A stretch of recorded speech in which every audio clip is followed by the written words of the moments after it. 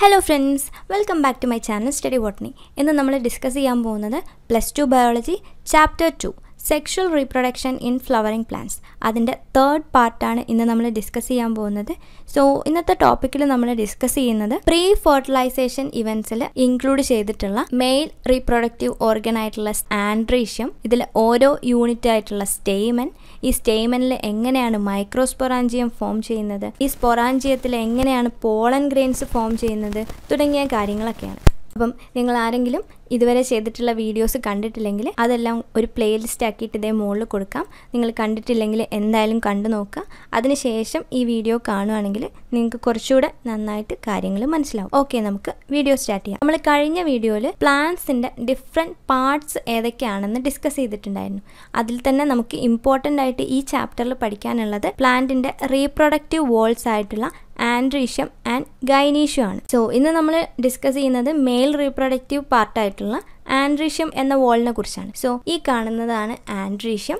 That is ഒരു ഫ്ലവറിന്റെ mail reproductive part. ഇതിലെ ഓരോ യൂണിറ്റിനെയും പറയുന്ന പേരാണ് സ്റ്റേമൻ. ഇനി നമുക്ക് ഒരു സ്റ്റേമന്റെ സ്ട്രക്ചർ ഡീറ്റെയിൽ ആയിട്ട് ഡിസ്കസ് ചെയ്യാം. ഓരോ സ്റ്റേമനും ഇമ്പോർട്ടന്റ് ആയിട്ട് രണ്ട് ഭാഗങ്ങളാണ് കാണാൻ പറ്റുന്നത്. ലോങ് ആൻഡ് സ്ലെൻഡർ ആയിട്ടുള്ള സ്റ്റോക്ക് പോലെ ഇരിക്കുന്ന ഒരു ഫിലമെന്റ് കാണാൻ പറ്റും. ഈ ഫിലമെന്റിന്റെ ടിപ്പിലായിട്ട് നമുക്ക് ആന്തറും കാണാൻ പറ്റും. That is the long slender stalk called filament and the terminal generally bilobed structure called anther ഈ കാണുന്ന ഓരോന്നിനെയും ലോബ് എന്നാണ് പറയുന്നത്. അപ്പം ഒരു ആന്തറിന് എത്ര ലോബ്സ് കാണാൻ പറ്റും? രണ്ട് ലോബ്സ് കാണാൻ പറ്റും. അതുകൊണ്ട് തന്നെ ആന്തറിന് ബൈ ലോബ് സ്ട്രക്ചർ എന്നാണ് പറയുന്നത്. ഇനി ഈ ഫിലമെന്റിന്റെ ഏറ്റവും താഴെയായിട്ട് വരുന്ന ഭാഗം. That is proximal end usually attach ചെയ്തിരിക്കുന്നത് ഒരു ഫ്ലവറിന്റെ തലാമസു ആയിട്ടായിരിക്കും എന്നാൽ ചില ഫ്ലവേഴ്സിൽ ഈ ആന്തറിന്റെ പ്രോക്സിമൽ എൻഡ് അറ്റാച്ച് ചെയ്തിരിക്കുന്നത് ഫ്ലവേഴ്സിന്റെ പെറ്റലും ആയിട്ടായിരിക്കും നമ്മൾ ഓൾറെഡി ഡിസ്കസ് ചെയ്തിട്ടുള്ള കാര്യമാണ് ചില ഫ്ലവേഴ്സിന്റെ പെറ്റലിലായിരിക്കും ആന്തർ അറ്റാച്ച് ചെയ്ത് കാണാൻ പറ്റുന്നത്. അത്തരം കണ്ടീഷന് ഒരു പേര് പറയായിരുന്നു. അതെന്താണെന്ന് നിങ്ങൾക്ക് ഓർമ്മയുണ്ടെങ്കിൽ കമന്റ് ബോക്സിൽ പറയാം. That is the proximal end of the filament is attach to the thalamus or the petal of the flower നമുക്ക് അറിയാവുന്ന ഡിഫറെന്റ് ഫ്ലവേഴ്സ് എടുത്ത് നോക്കിയിട്ടുണ്ടെങ്കിൽ അതിൽ കാണുന്ന ഓരോ ഫ്ലവേഴ്സിന്റെയും അല്ലെങ്കിൽ ഓരോ സ്പീഷീസിൽ കാണുന്ന ഫ്ലവേഴ്സിന്റെയും സ്റ്റേമൻസിന്റെ ലെങ്ത്തിലും അതുപോലെ തന്നെ നമ്പേഴ്സിലും ഒരുപാട് വേരിയേഷൻ കാണാൻ പറ്റും. ഒരുപാട് സ്റ്റേമൻ ഉള്ള ഫ്ലവേഴ്സും കാണാൻ പറ്റും. എന്നാൽ വളരെ കുറച്ച് അഞ്ചോ ആറോ സ്റ്റേമൻസ് മാത്രമുള്ള ഫ്ലവേഴ്സും നമുക്ക് കാണാൻ പറ്റും. ഇതുകൂടാതെ ഡിഫറെന്റ് ലെങ്ത്തിലുള്ള സ്റ്റേമൻസും നമുക്ക് ഡിഫറെന്റ് സ്പീഷീസ് ഓഫ് ഫ്ലവേഴ്സിൽ കാണാൻ പറ്റും. That is the number and length of stamens are variable in flowers of different species അപ്പം ഒരു പത്ത് ഡിഫറെന്റ് ടൈപ്പ് ഓഫ് ഫ്ലവേഴ്സ് എടുത്ത് നോക്കിയിട്ടുണ്ടെങ്കിൽ ഈ പത്ത് ഡിഫറെന്റ് ടൈപ്പ് ഓഫ് ഫ്ലവേഴ്സിലും അതിന്റെ സ്റ്റേമെൻസിന്റെ ലെങ്ത്തിലും നമ്പേഴ്സിലും ഒക്കെ വേരിയേഷൻ കാണാൻ പറ്റും. ഒരു സ്റ്റേമെന്റെ ഇമ്പോർട്ടന്റ് ആയിട്ടുള്ള ഭാഗം എന്ന് പറയുന്നത് അതിന്റെ ആന്തറാണ് അതെന്തുകൊണ്ടായിരിക്കും? ഈ ആന്തറിനുള്ളിലാണ് പോളൻ ഗ്രെയിൻസ് ഒക്കെ ഫോം ചെയ്യുന്നത്. അപ്പം നമുക്ക് ഈ ആന്തറിന്റെ സ്ട്രക്ചർ കുറച്ചുകൂടെ ഡീറ്റെയിൽ ആയിട്ട് പഠിക്കാം. ഇതിനാദ്യം നമ്മൾ ഈ ആന്തറിന് ട്രാൻസ്ഫർ സെക്ഷൻ എടുത്ത് അതൊരു ത്രീ ഡയമെൻഷനിൽ കാണുവാണെങ്കിൽ ടെക്സ്റ്റ് ബുക്കിൽ കൊടുത്തിരിക്കുന്ന ഇമേജ് പോലെ ആയിരിക്കും ഉണ്ടാവുന്നത്. യൂഷ്വലി ഒരു ആൻജിയോസ്പേമിന്റെ ആന്തർ എന്ന് പറയുന്നത് ബൈ ലോബ്ഡ് ആയിരിക്കും. അതായത് രണ്ട് ലോബ്സ് കാണാൻ പറ്റും. ഇങ്ങനെ രണ്ട് ലോബ്സ് ഉള്ളത് കൊണ്ട് തന്നെ ഇതിന് ബൈ ലോബ് സ്ട്രക്ചർ എന്ന് പറയുന്നു. ഇങ്ങനെയുള്ള ഓരോ ലോബ്സിലും രണ്ട് തീക്ക കാണാൻ പറ്റും. അപ്പം ഈ ഓരോ സ്ട്രക്ചറിനെയാണ് തീക്ക എന്ന് പറയുന്നത്. തീക്ക എന്ന് പറഞ്ഞിട്ടുണ്ടെങ്കിൽ ഒരു ലോങ് ക്യാവിറ്റിയാണ് ഈ ക്യാവിറ്റി ഈ ആന്തറിന്റെ ടിപ്പ് മുതൽ താഴെ വരെ ഇങ്ങനെ നീണ്ടു കിടക്കുന്നുണ്ടാവും. ഓരോ ലോബ്സിലും രണ്ട് തീക്ക കാണാൻ പറ്റും. ടോട്ടൽ എത്ര തീക്ക ഉണ്ടായിരിക്കും? ടോട്ടൽ നാല് തീക്ക കാണാൻ പറ്റും. അതായത് നാല് ട്യൂബുലാർ ക്യാവിറ്റി കാണാൻ പറ്റും. അപ്പം ഓരോ ലോബിലും രണ്ട് തീക്ക ഉള്ളത് കൊണ്ട് അതിന് ഡൈ തീക്കസ് എന്ന് പറയുന്നു. അതായത് ഓരോ ലോബിനെയും ഡൈ തീക്കസ് എന്ന് പറയുന്നു. That is a typical angiosperm anther is bilobed with each lobe having two theca. That is they are dithecous ഈ രണ്ട് തീക്ക തമ്മിൽ സെപ്പറേറ്റ് ചെയ്തുകൊണ്ട് ഒരു ലോഞ്ചിറ്റ്യൂഡിനൽ ഗ്രൂവ് കാണാൻ പറ്റും. ഗ്രൂവ് എന്ന് പറഞ്ഞിട്ടുണ്ടെങ്കിൽ ഒരു long narrow cut or depression അല്ലെങ്കിൽ മലയാളത്തിൽ പറയുകയാണെങ്കിൽ മടക്ക് എന്നൊക്കെ പറയാം. അതായത് ഈ രണ്ട് തീക്കയുടെ ഇടയിലുമായിട്ട് ഒരു ഗ്രൂ അതായത് ഉള്ളിലേക്ക് മടങ്ങിയിരിക്കുന്നത് പോലെ കാണാൻ പറ്റും. That is often a longitudinal groove run lengthwise separating the theca. ഒരു ലോബിലെ രണ്ട് തീക്കകളെ തമ്മിൽ സെപ്പറേറ്റ് ചെയ്തുകൊണ്ട് അതായത് ലെങ്ത് വൈസ് ആയിട്ട് ലോഞ്ചിറ്റ്യൂഡിനൽ ഗ്രൂവ് കാണാൻ പറ്റും. ഇനി നമുക്ക് ഡീറ്റെയിൽ ആയിട്ട് ഒരു ആന്തറിന്റെ ട്രാൻസ്ഫർ സെക്ഷൻ എടുത്ത് മൈക്രോസ്കോപ്പിലൂടെ നോക്കിയിട്ടുണ്ടെങ്കിൽ എന്തൊക്കെയാണ് കാണാൻ പറ്റുന്നതെന്ന് പഠിക്കാം. അപ്പം ടെക്സ്റ്റ് ബുക്കിൽ ഈ ടോപ്പിക് സ്റ്റാർട്ട് ചെയ്യുമ്പോൾ തന്നെ പോളൻ സാക്കിനെ കുറിച്ചൊക്കെ മെൻഷൻ ചെയ്തിട്ടുണ്ട്. അപ്പം ഈ കാര്യങ്ങളൊക്കെ നമുക്ക് സ്ട്രക്ചർ ഓഫ് മൈക്രോസ്പൊറാഞ്ചിയം എന്ന ടോപ്പിക് ഡിസ്കസ് ചെയ്തതിന് ശേഷം പഠിക്കാം. മൈക്രോസ്പൊറാഞ്ചിയം എന്താണെന്ന് നമ്മൾ ഡിസ്കസ് ചെയ്തിട്ടില്ല.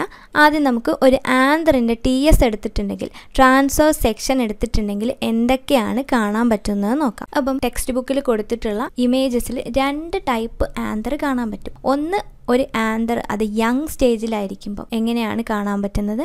അതിനുശേഷം അത് ഒരു ആന്തർ മെച്ചുർ ആയി കഴിഞ്ഞിട്ടുണ്ടെങ്കിൽ എങ്ങനെയാണ് കാണാൻ പറ്റുന്നത്? ഈ രണ്ട് സ്ട്രക്ചേഴ്സും ഇമ്പോർട്ടന്റ് ആണ്. അപ്പോൾ നമുക്ക് ആദ്യം തന്നെ ഒരു യങ് ആന്തറിന്റെ ഡിഫറെന്റ് പാർട്സ് ഏതൊക്കെയാണ്? ഈ ഓരോ പാർട്സിന്റെയും ഫംഗ്ഷൻ എന്തൊക്കെയാണെന്ന് നോക്കാം. ഒരു ആന്തർ എടുത്ത് ട്രാൻസ്വേഴ്സ്ലി കട്ട് ചെയ്ത് മൈക്രോസ്കോപ്പിലൂടെ നോക്കിയിട്ടുണ്ടെങ്കിൽ നമുക്ക് ഏകദേശം ഇതുപോലെ ആയിരിക്കും കാണാൻ പറ്റുന്നത്. സോ ഇത് ഏകദേശം ഒരു ബട്ടർഫ്ലൈ ഷേപ്പിലൊക്കെയാണ് ഇരിക്കുന്നത് കാണാൻ. ദാറ്റ് ഈസ് ഒരു ഫോർ സൈഡഡ് ആയിട്ടുള്ള ടെട്രാഗോണൽ സ്ട്രക്ചറാണ് നമ്മുടെ ആന്തറിനെ കട്ട് ചെയ്തിട്ടുണ്ടെങ്കിൽ നമുക്ക് കാണാൻ പറ്റുന്നത്. ഇങ്ങനെയുള്ള ഈ ആന്തറിന്റെ ഏറ്റവും ഇന്നമോസ്റ്റ് ആയിട്ട് നമുക്ക് നാല് മൈക്രോസ്പൊറാഞ്ചിയ കാണാൻ പറ്റും. അപ്പം ഈ കാണുന്ന ഓരോ സ്ട്രക്ചറിനെയും മൈക്രോസ്പൊറാഞ്ചിയ എന്നാണ് പറയുന്നത്. അപ്പം ഓരോ ലോബിലും രണ്ട് മൈക്രോസ്പൊറാഞ്ചിയ കാണാൻ പറ്റും. അങ്ങനെ ടോട്ടൽ ഒരു ആന്തറിൽ നാല് മൈക്രോസ്പൊറാഞ്ചിയ കാണാൻ പറ്റും. അപ്പം നമ്മൾ ഇപ്പോൾ ഡിസ്കസ് ചെയ്യുന്നത് ഒരു യങ് ആന്തറിനെ കുറിച്ചാണ്. ഒരു ആന്തർ യങ് ആയിരിക്കുന്ന സമയത്ത് ഈ സ്ട്രക്ചർ മൈക്രോസ്പൊറാഞ്ചിയ ആയിരിക്കും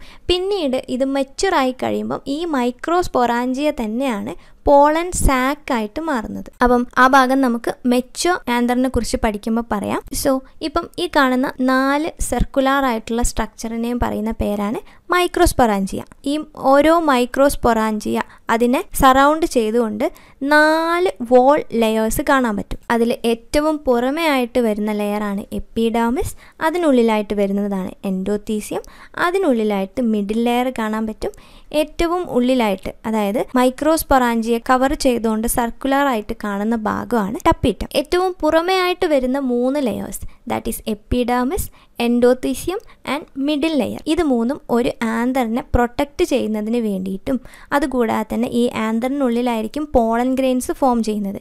ഈ പോളൻ ഗ്രെയിൻസ് ഡെഹിസൻസിന് വേണ്ടിയിട്ടും അതായത് ഈ ആന്തർ പൊട്ടിയിട്ടാണ് അതിനുള്ളിൽ ഡെവലപ്പ് ചെയ്യുന്ന അതായത് ക്രോസ് ക്രോസ്പൊറാഞ്ചിയുടെ ഉള്ളിൽ ഡെവലപ്പ് ചെയ്യുന്ന പോളൻ ഗ്രെയിൻസ് ഒക്കെ പുറത്തേക്ക് വരുന്നത്. അങ്ങനെ ഈ ആന്തർ പൊട്ടുന്നതിന് വേണ്ടി ബ്രേക്ക് ചെയ്യുന്നതിന് വേണ്ടിയൊക്കെ ഹെൽപ്പ് ചെയ്യുന്ന ലെയേഴ്സ് ആണ്. പുറമേ ആയിട്ട് കാണപ്പെടുന്ന ഈ മൂന്ന് layers that is the outer three wall layers perform the function of protection and help in dehiscence of anther to release pollen pollen release ചെയ്യുന്നതിന് വേണ്ടി ആന്തറിന്റെ ഡെഹിസൻസിന് ഹെൽപ്പ് ചെയ്യുന്ന ആന്തർ ബ്രേക്ക് ചെയ്യുന്നതിന് വേണ്ടി ഹെൽപ്പ് ചെയ്യുന്ന വാൾ ലെയേഴ്സ് ആണ് എപ്പിഡോമിസ് എൻഡോത്തീസിയം മിഡിൽ ലെയർ ഇതിനുള്ളിലായിട്ട് വരുന്ന അതായത് മൈക്രോസ്പൊറാഞ്ചിയെ കംപ്ലീറ്റ് ആയിട്ട് കവർ ചെയ്ത് കാണപ്പെടുന്ന ഇന്നർമോസ്റ്റ് ലെയർ ആണ് ടപ്പീറ്റം. ടപ്പീറ്റത്തിന്റെ ഫംഗ്ഷൻ എന്താ? ഈ മൈക്രോസ്പൊറാഞ്ചിയുടെ ഉള്ളിലാണ് പോളൻ ഗ്രെയിൻസ് ഫോം ചെയ്യുന്നത്. ഈ പോളൻ ഗ്രെയിൻസിന് ആവശ്യമായിട്ടുള്ള നറിഷ്മെന്റും ന്യൂട്രിഷനും ഒക്കെ പ്രൊവൈഡ് ചെയ്യുന്ന ലെയർ ഓഫ് സെല്ലാണ് ടപ്പീറ്റം. ടപ്പീറ്റത്തിന് ഡെൻസ് സൈറ്റോപ്ലാസം ഉണ്ടായിരിക്കും. കൂടാതെ ഒന്നിൽ കൂടുതൽ ന്യൂക്ലിയസും ഉണ്ടായിരിക്കും. That is tapetum nourishes the developing pollen grains cells of the tapetum possess dense cytoplasm and generally have more than one nucleus ഒന്നിൽ കൂടുതൽ ന്യൂക്ലിയസ് കാണാൻ പറ്റും.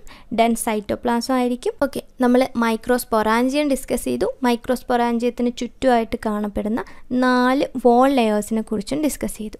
ഇനി നമുക്ക് ഈ മൈക്രോസ്പൊറാഞ്ചിയത്തിന് ഉള്ളിൽ എന്തൊക്കെയാണുള്ളത് നോക്കാം. ഈ ആന്തർ യങ് ആയിരിക്കുന്ന സമയത്ത് അതായത് ഈ ഡയഗ്രത്തിൽ കൊടുത്തിരിക്കുന്ന സ്റ്റേജിൽ ഈ മൈക്രോസ്പൊറാഞ്ചിയയുടെ ഉള്ളിലായിട്ട് ഒരുപാട് കോമ്പാക്ട്ലി അറേഞ്ച്ഡ് ആയിട്ടുള്ള ഹോമോജീനിയസ് ആയിട്ടുള്ള ദാറ്റ് മീൻസ് ഒരേപോലെയുള്ള ഒരുപാട് സെൽസ് അക്യുമുലേറ്റ് ചെയ്യാൻ തുടങ്ങും അല്ലെങ്കിൽ ഒക്യുപ്പൈ ചെയ്യാൻ തുടങ്ങും. അപ്പം ഒരുപാട് സെൽസ് ചേർന്നിട്ടാണ് ടിഷ്യൂ ഫോം ചെയ്യുന്നത്. സോ ഈ ടിഷ്യൂവിന്റെ പേരാണ് സ്പോറോജീനസ് ടിഷ്യൂ. അപ്പം ജീനസ് അല്ലെങ്കിൽ ജനസിസ് എന്ന ഈ ടേം വരുമ്പോൾ നമ്മൾ എപ്പോഴും പറഞ്ഞിട്ടുണ്ട് അവിടെ എന്തെങ്കിലും ഒന്നിന്റെ ഫോമേഷൻ അല്ലെങ്കിൽ ഡെവലപ്മെന്റ് ആയിരിക്കും നടക്കുന്നത്. അപ്പം ഇവിടെ സ്പോറോജീനസ് ടിഷ്യൂ എന്നാണ് പറഞ്ഞിട്ടുള്ളത്. അപ്പോൾ ഇവിടെ എന്തിന്റെ ഡെവലപ്മെന്റ് ആയിരിക്കും നടക്കുന്നത്? സ്പോർസിന്റെ ഫോമേഷൻ ആയിരിക്കും നടക്കുന്നത്.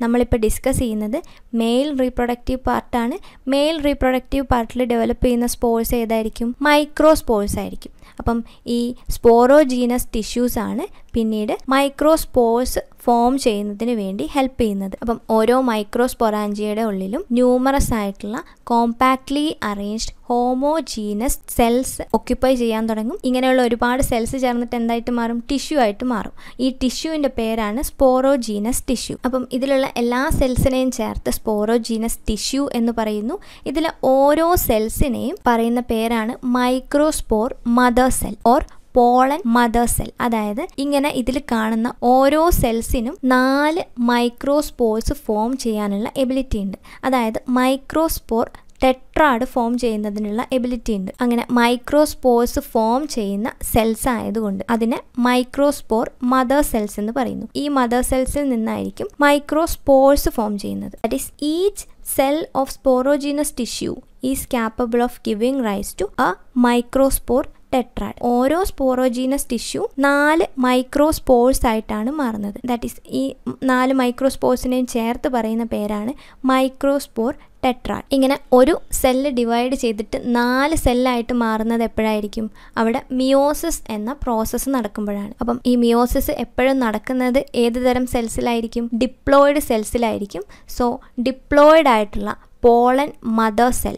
Two N കണ്ടീഷനിലുള്ള പോളൻ മദർ സെല്ലിൽ മിയോസിസ് നടന്ന് എൻ കണ്ടീഷനിലുള്ള മൈക്രോ സ്പോർസ് ഫോം ചെയ്യുന്നു. അങ്ങനെ മൈക്രോസ്പോർ മദർ സെൽ അല്ലെങ്കിൽ പോളൻ മദർ സെല്ലിൽ നിന്ന് മിയോസിസിലൂടെ മൈക്രോ സ്പോർസ് ഫോം ചെയ്യുന്ന ആ പ്രോസസ്സിന് പറയുന്ന പേരാണ് micro microsporogenesis that is the process of formation of microspores from a pollen mother cell P M C through meiosis is called microsporogenesis ഇങ്ങനെ microspore mother സെല്ലിൽ നിന്ന് ഫോം ചെയ്യുന്ന നാല് മൈക്രോസ്പോർസും ഒരുമിച്ച് ഒരു ടെട്രാഡായിട്ടാണ് കാണാൻ പറ്റുന്നത്. അതായത് ഈ നാല് സ്പോർസും ചേർന്ന് എൻ കണ്ടീഷനിലുള്ള നാല് സ്പോർസും ചേർന്ന് ഇതുപോലെ ആയിരിക്കും കാണാൻ പറ്റുന്നത്.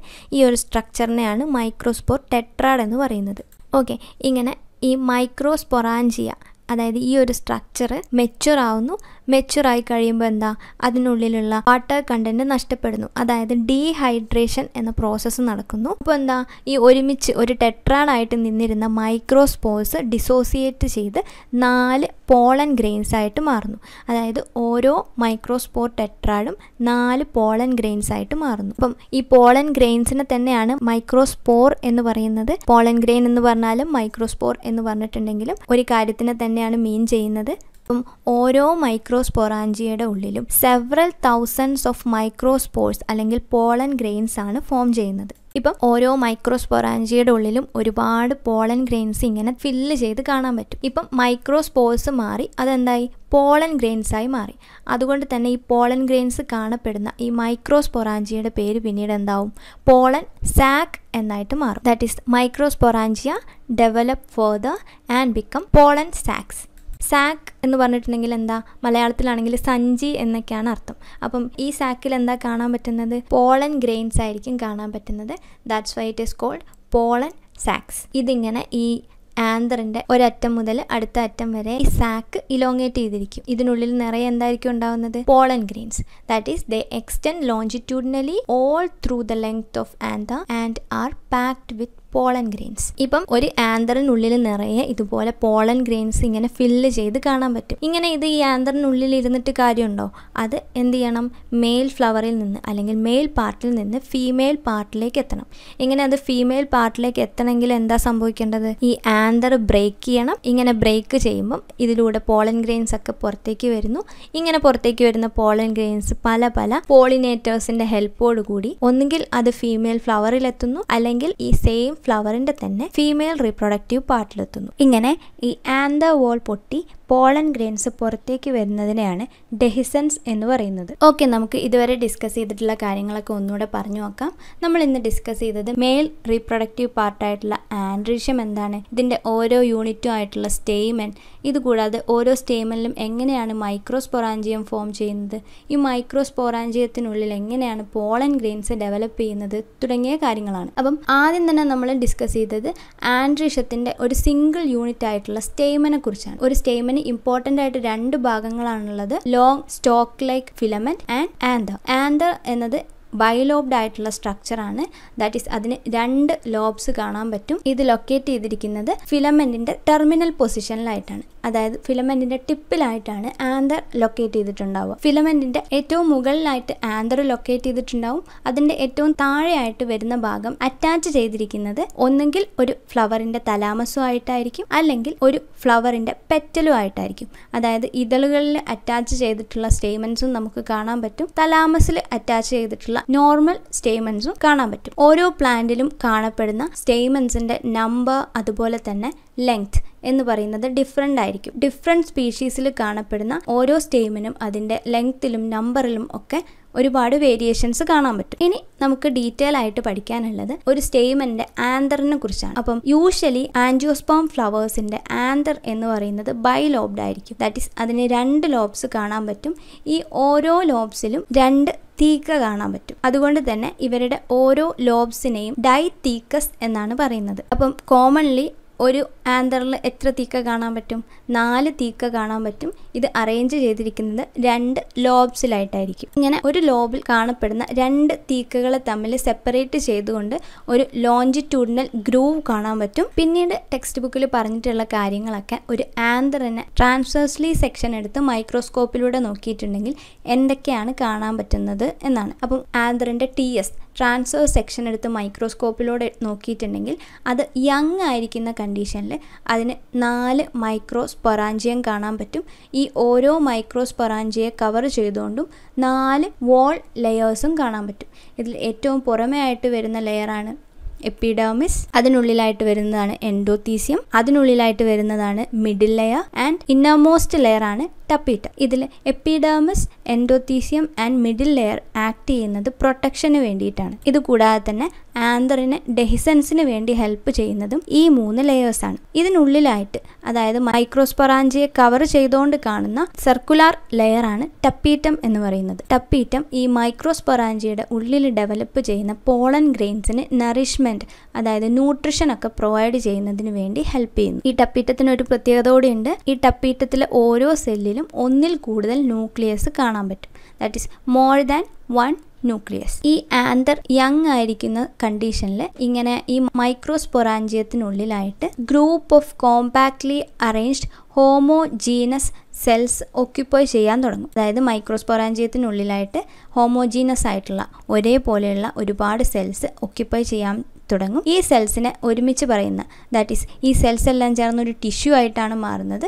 അപ്പം ഈ ടിഷ്യൂവിനെ പറയുന്ന പേരാണ് സ്പോറോജീനസ് ടിഷ്യൂ. ഇതിൽ ഓരോ സെല്ലിനെയും പറയുന്ന പേരാണ് pollen mother cell or microspore mother cell. ഇങ്ങനെയുള്ള ഈ ഓരോ മൈക്രോസ്പോർ മദർ സെൽ അല്ലെങ്കിൽ പോളൻ മദർ സെല്ലിനും നാല് പോളൻ ഗ്രെയിൻസ് ആയിട്ട് മാറാനുള്ള എബിലിറ്റി ഉണ്ട്. അപ്പം ഒരു സെല്ല് നാലായിട്ട് മാറുന്നത് എപ്പോഴും മിയോസിസിലൂടെ ആയിരിക്കും. സോ ഈ മൈക്രോസ്പോർ മദർ സെല്ലിന് മിയോസിസ് സംഭവിക്കുന്നു. മിയോസിസിലൂടെ ഇവർ മൈക്രോസ്പോർ ടെട്രാഡ് ഫോം ചെയ്യുന്നു. ഇങ്ങനെ pollen mother cell or microspore mother സെല്ലിന് മിയോസിസ് സംഭവിച്ച് മൈക്രോസ്പോർസ് ഫോം ചെയ്യുന്ന ആ പ്രോസസ്സിന് പറയുന്ന പേരാണ് മൈക്രോസ്പോറോ ജെനസിസ് ഇങ്ങനെ മൈക്രോസ്പോറോ ജെനസിസിലൂടെ മൈക്രോസ്പോർ ക്ലസ്റ്റർ ആണ് ഫോം ചെയ്യുന്നത്. ഓരോ ക്ലസ്റ്ററിലും ഓരോ കൂട്ടത്തിലും നാല് മൈക്രോസ്പോർസ് ആയിരിക്കും ഉണ്ടാവുന്നത്. ഈ ആന്തർ മെച്ചുറായി കഴിയുമ്പോൾ ഈ ആന്തറിനുള്ളിൽ ഡീഹൈഡ്രേഷൻ അതിനുള്ളിലെ വാട്ടർ കണ്ടന്റ് നഷ്ടപ്പെടുന്നു ഡീഹൈഡ്രേഷൻ നടക്കുന്നു. അങ്ങനെ ഈ മൈക്രോസ്പോർസ്